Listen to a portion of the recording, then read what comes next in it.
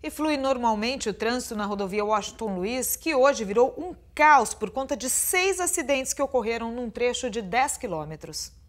De acordo com a polícia rodoviária, um caminhão carregado de bobina de aço seguia sentindo capital interior quando invadiu a pista contrária e bateu de frente com um caminhão baú. Com o impacto, um dos veículos capotou e ficou com as rodas para cima.